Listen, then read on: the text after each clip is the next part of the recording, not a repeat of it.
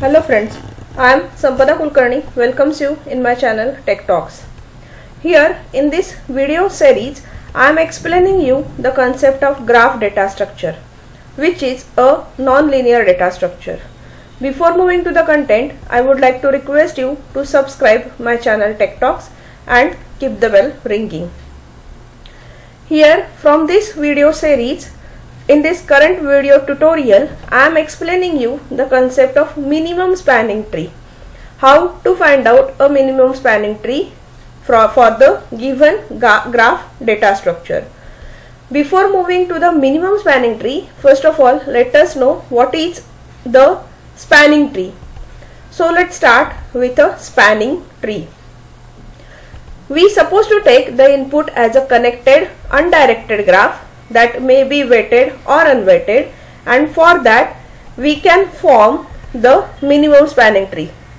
What are the features of a minimum spanning tree that I am going to cover over here. So first of all a spanning tree is nothing but a subgraph of a original graph. Whatever the graph is there that we are going to take as input so the spanning tree is nothing but its subgraph. It should connect all the vertices if any of the vertex is missing then it can, can't be said as a spanning tree. Here in spanning tree all the vertices should get connected with different edges and the with the minimum possible number of edges that the minimum possible number of edges are nothing but if v number of vertices are there then the v minus 1 number of edges should get included in a spanning tree. It should not form any cycle as this is a tree and always tree data structure could not form a cycle. If it forms a cycle it is going to become a graph but we are going to find out a spanning tree so that's why it doesn't form any cycle.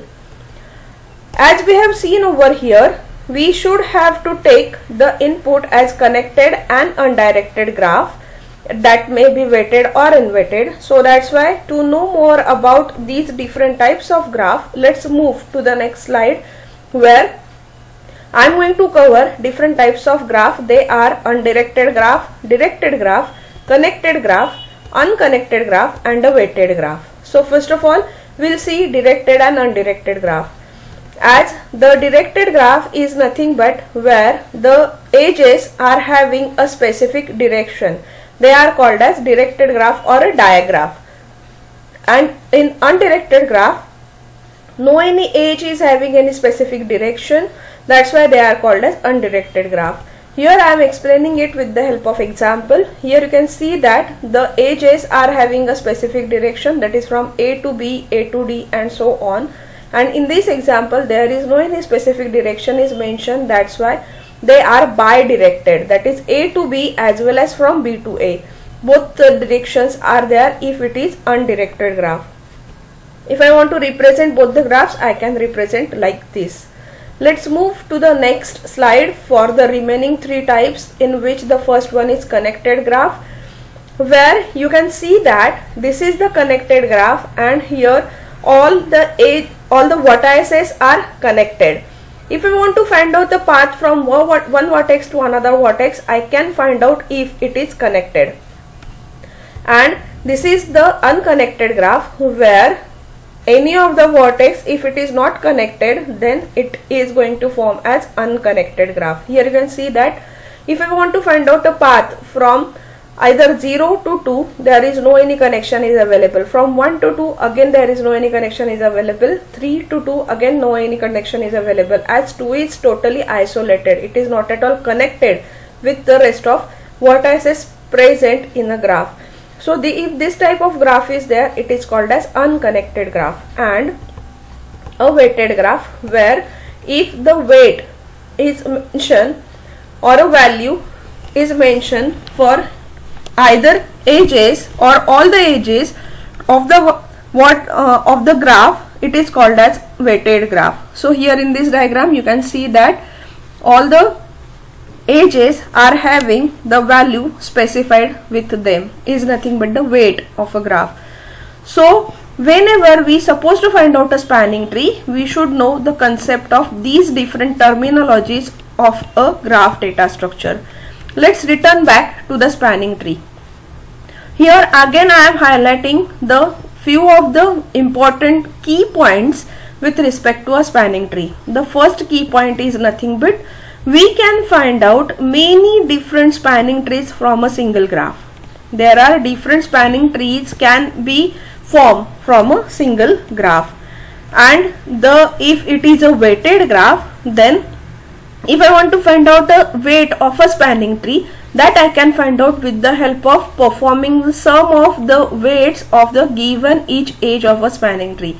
Whatever the edges you have included in a spanning tree the addition of that weights is nothing but the weight of whole spanning tree. That you can do if it is a weighted graph. And as I explained previously if a graph of which you are going to find out a spanning tree having v number of vertices then it will be having v minus 1 number of edges for the spanning tree. Now let's go forward for a minimum spanning tree.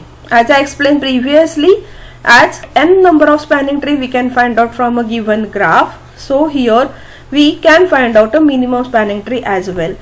So minimum spanning tree the requirement is we should have the weighted connected and undirected graph because without weights we can't find out a minimum spanning tree. So that's why we will be having the weighted connected and undirected graph to find out a minimum spanning tree where the weight is less than or equal to the weight of every other spanning tree.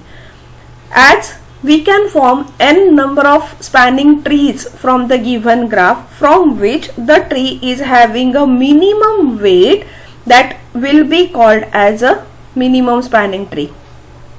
If for a given graph, if we can find out four different spanning trees, we will find out a weight for all the spanning trees and from which the tree which is having the smallest weight that will be included as a minimum spanning tree. So how to find out a minimum spanning tree? For this we should have to take as input like a connected, undirected and a weighted graph. Then we have to apply an algorithm on that and then that output of that algorithm will be the minimum spanning tree from all the possible spanning trees. So which different algorithms that we are going to study? The algorithms which are helpful to find out a minimum spanning tree they are the first algorithm is Kruskal's algorithm the second algorithm is Prim's algorithm. Both the algorithms that we are going to study in this video tutorial. So why we have to study the spanning tree as we have seen what is spanning tree what is minimum spanning tree we have seen how to find out a minimum spanning tree which different algorithms are there. But why? Why to study a spanning tree? So here few of the applications i am mentioning over here. For the implementation of that type of applications we have to study the minimum spanning tree. So these are the applications. They are first of all let's if I want to find out a routing protocol if I want to send the packets from source to destination then that computer network routing protocol is get used. And to form to design these protocols the minimum spanning tree concept is used. Same thing for cluster analysis. If I want to design a civil network planning then also I can use the minimum spanning tree if electrical wiring I have to do in the uh, on the site then also I can use the minimum spanning tree. So if a city network is there like a huge graph and if you want to plan to deploy the telephone lines in a such a way that it will be having the minimum lines. So and that minimum lines are connecting all the cities. That all the cities are going to play a play a role of nodes and the connection between that cities are nothing but the edges of your graph. So for the implementation of this type of application as well you can use the minimum spanning tree. So i hope you must have understood the importance of minimum spanning tree. Thank you all dear friends for listening and watching my video. Please do not forget to give the comment.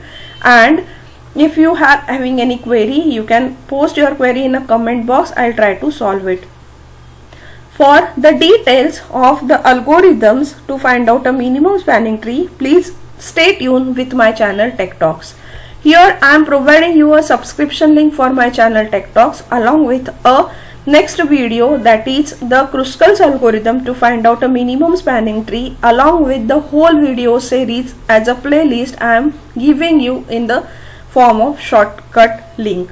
So thank you and stay tuned with Tech Talks. Happy learning, happy data structuring. Thank you.